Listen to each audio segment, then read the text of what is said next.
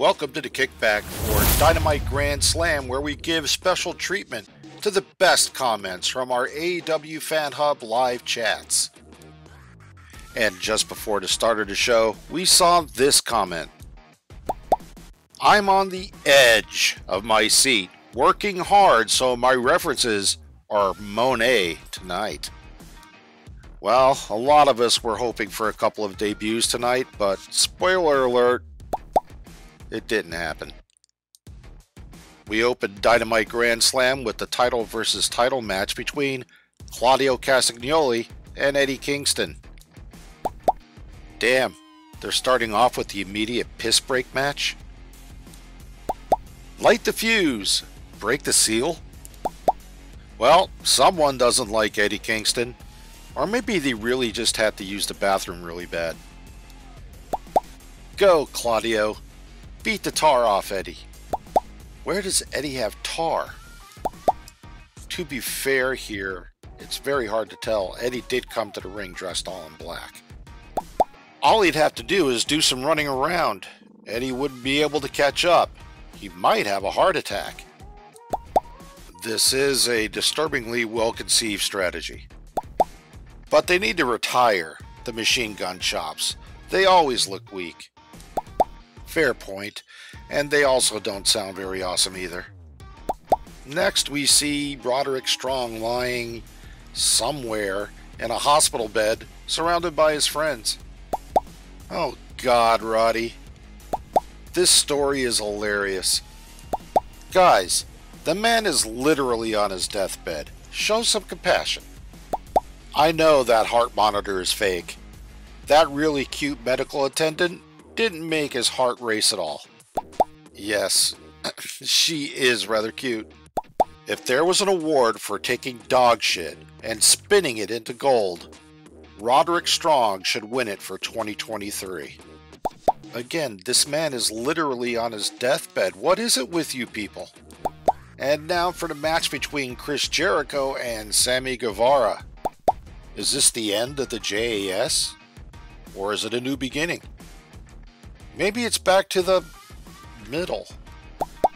I thought Jericho was singing. That is one big t-shirt. Absolutely riveting analysis right there. Tay Melo gets into the ring. Her water breaks. Jericho slips in the amniotic fluid. Sammy gets the pin. This is why I should never book wrestling. Frankly speaking, this is why you shouldn't do half of the things you do. Is Schiavone stroking? He'd said, a veteran coming through like 20 times. Well, to be fair, Schiavone did say that he was in junior high school in the 20s, so that's, let's see here, carried to two. I need Scott Steiner. I'm so tired of Don Callis and his stupid group well, that's a plot twist I didn't see coming. Don't worry, guys. When Sammy gets home, Tay Melo is certainly going to put him in his place. Moving on to the International Championship match between Jon Moxley and Rey Fenix. He just put something in Moxley's hand. Is Mox concussed? He's moving like he's legit concussed. Maybe why Ray checked Moxley's hand when I thought he put something in it? I think Mox is hurt. He is legit concussed. Mox finally getting that vacation. I don't think it's the one he wanted. Needless to say, congratulations to Rey Fenix on a great win. Our thoughts, of course, are with Jon Moxley. Get well soon. Chins up and tits out. It's time for the AEW Women's World Championship match. Oh, and watch for the shoe. Toni Storm with the fall season of just being the bitchiest, vainest, crazy world champion would be a great shot of dynamite for this division. No pun intended.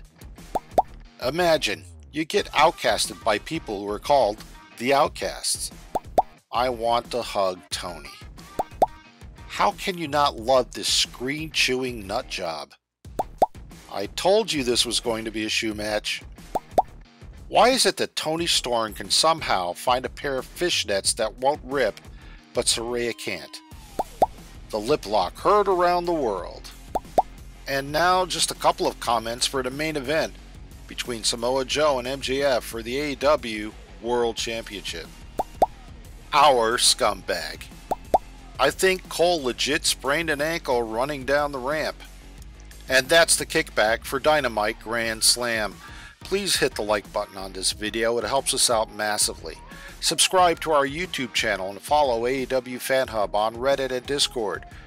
See you on the Monday after Collision for the next episode of Kickback.